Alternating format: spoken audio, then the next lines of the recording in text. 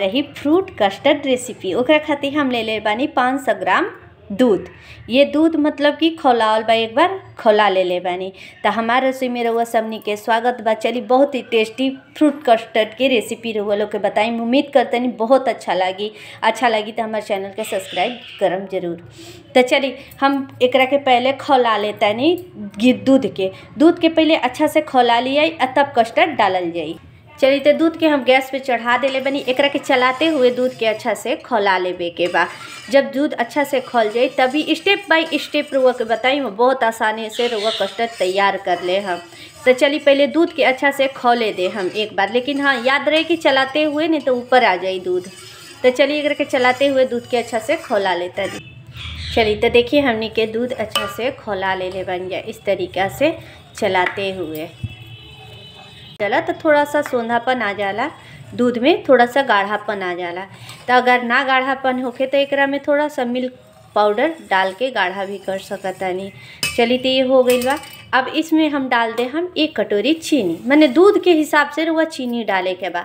जैसे 500 ग्राम दूध बा तो में 100 ग्राम तक ले चीनी डाल दे हम ताकि मीठा हो जाए अच्छा से। अब एकरा में डालल जाए चीनी डालला के बाद हमनी के ले बन जा कस्टर्ड पाउडर रो वनीला फ्लेवर वाला कस्टर्ड पाउडर भी ले सकता नहीं या तो कोई फ्लेवर वाला, जैसे मैंगो फ्लेवर आला बनाना फ्लेवर वाला आला, जो फ्लेवर वाला आला वो फ्लेवर के आप रुआ ले सकता नहीं अब इसमें डाल दें हम हम दूध। अच्छा से एकरा के घोल लेवे अच्छा से कस्टर्ड से घोल लेवे के बा कस्टर्ड के। और नॉर्मल दूध ले हम कि कस्टर्ड आराम से घोला जाए। अगर गर्म दूध ले हम तो कस्टर्ड फैल जाला। तो नॉर्मल दूध लेके कस्टर्ड के घोल लेवे के बा इस तरीक़ा से, ताकि हमनी के कस्टर्ड घुल जाए। एक के अच्छा से घोल के और जिस दूध में हमनी के चीनी डालने रही जा खोले के बिठेले बन जा में आराम से धीरे धीरे करके चला के डाल देवे के बाद अब चलिए चलाते हुए कस्टर्ड के एकरा के डाले के बाद, ताकि हमनी के कस्टर्ड एक जगह बैठे ना। इस तरीक़ा से चलाते हुए कस्टर्ड के डाल दें हम।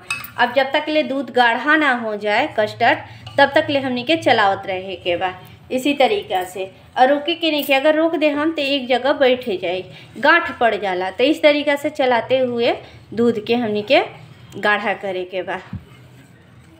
याद रहे कि चलाते हुए कस्टर्ड के आराम से पका ले एक से डेढ़ मिनट तक ले।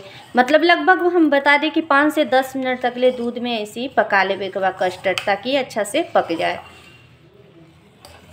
अब जब कलछी उल्टाइम कस्टर्ड इस तरीक़ा से होखी जैसे लाइनिंग हो जाए तो समझ जाइए कस्टर्ड रो तैयार बा।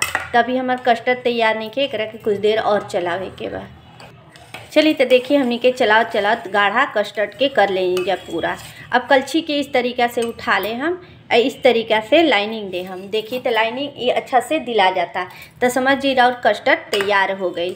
अब गैस के हम बंद कर दें हम और कुछ देर खातिर हम ठंडा करम एक जिस चीज़ में हमने के कस्टर्ड रखे के बा उस चीज़ के एक बाउल में पानी ले ले हम, और उस बर्तन में हम रख दे हम बॉल के। अब एकरा में हम कस्टर्ड पेस्ट डाल दे हम, जो तैयार कर ले रहनी है। चलिए तो जो कस्टर्ड हम रख ले रही बना के, ओकरा के एक बॉल में निकाल के रख दे हम। अब पंद्रह से बीस मिनट खातिर एकरा के ठंडा होके दे हम, तब हम फ्रिज में एकरा के रखम। पहले अच्छा से ये ठंडा हो जाए, एकरा में फ्रूट डालल जाए।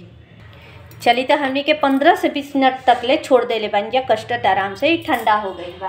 अब इसमें डाल दे हम हम फ्रूट जैसे बनाना हो गई केला, और उसके बाद सेव, और उसके बाद हम डाल दे हम एकरा में अंगूर, कुछ डाल दे हम, अनार के दाना।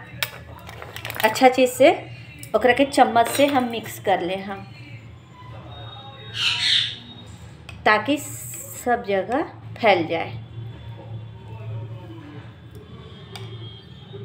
अब कुछ अनार के दाना हम ऊपर से छिड़क दे हम।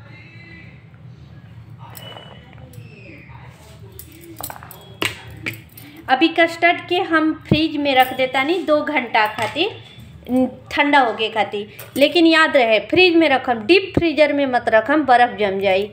अब एक के दो घंटा खातिर आराम से अपने छोड़ दे हम। चलिए, तब फ्रिज के आराम से एक में रख दे हम। कस्टर्ड के दो से तीन घंटा हो गए। अब देखल जाओ, देखिए तो ठंडा हो गई बा कस्टर्ड। देखिए तो किस तरीका से ठंडा हो गई बा चले तो हमनी के बहुत ज़्यादा ठंडा हो गई बा कस्टर्ड। तो रउल सबनी के कैसन लगल हमार कस्टर्ड के रेसिपी? ज़रूर बताइम जा कमेंट करके। तो चलिए अब एकरा के हम निकाल के दिखावत है। चली तो ठंडा ठंडा कस्टर्ड के मज़ा ली ही। हम भी खाई रउआ सब नहीं खाई, बस आ जाई जा हम दे देतनी कस्टर्ड। तो रउआ लोग के कैसा लगल कमेंट बॉक्स में ज़रूर कमेंट करम। आ ठंडा ठंडा जितना कस्टर्ड खाई उतने अच्छा लगेला। तो चलिए फिर आइम एक नया रेसिपी के साथ, एक मज़ेदार रेसिपी के साथ हमारे रेसिपी देखे खातिर हुआ सबने के बहुत बहुत धन्यवाद। तो चलिए खस्टर्ड हमने के रेडी हो गई। अब हमने के जाते हैं जब खाए वो लोग, आ जाए जा।